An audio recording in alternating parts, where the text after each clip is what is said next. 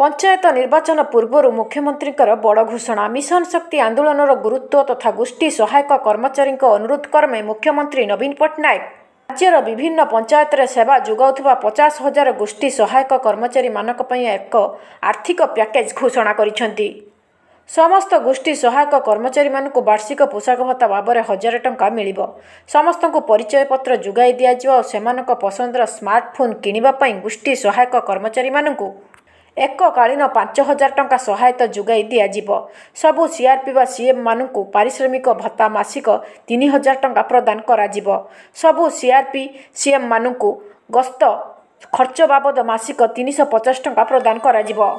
Telephone ଭତ୍ତା ବାବଦରେ CRP ବା ସିଏମ୍ମାନଙ୍କୁ ମାସିକ ଶହେ ପଚାଶ ଟଙ୍କା ପ୍ରଦାନ କରାଯିବ ଯାହାଫଳରେ ଏହା ବୃଦ୍ଧି ପାଇ ଦୁଇଶହ ପଚାଶ ଟଙ୍କା ପହଞ୍ଚିବ। ଆଉ ଏହି ପ୍ୟାକେଜକୁ ତୁରନ୍ତ କାର୍ଯ୍ୟକାରୀ କରିବା ପାଇଁ ରାଜ୍ୟ ସରକାର ଆବଶ୍ୟକ ଆର୍ଥିକ ବ୍ୟବସ୍ଥା କରିଛନ୍ତି ବୋଲି ମୁଖ୍ୟମନ୍ତ୍ରୀ ଘୋଷଣା କରିଛନ୍ତି ମିଶନ ଶକ୍ତି ଆନ୍ଦୋଳନକୁ ଆହୁରି ଆଗକୁ ନେବାରେ ପଞ୍ଚାୟତ ସ୍ତରରେ କାମ କରୁଥିବା ଏହି ଗୋଷ୍ଠୀ ସହାୟକ କର୍ମଚାରୀମାନଙ୍କର ମହତ୍ତ୍ୱପୂର୍ଣ୍ଣ ଭୂମିକା ପାଇଁ ମୁଖ୍ୟମନ୍ତ୍ରୀ ଶ୍ରୀ ନବୀନ ପଟ୍ଟନାୟକ ସେମାନଙ୍କୁ ଧନ୍ୟବାଦ ଜଣାଇଛନ୍ତି। ରୂପାନ୍ତରିତ ଓଡ଼ିଶା ଗଠନ ଦିଗରେ ଅଧିକ ପରିଶ୍ରମ କରିବାକୁ ଏହି ଆର୍ଥିକ ପ୍ୟାକେଜ ସେମାନଙ୍କୁ ଉତ୍ସାହିତ କରିବ ବୋଲି ମୁଖ୍ୟମନ୍ତ୍ରୀ ଆଶା ପୋଷଣ କରିଛନ୍ତି।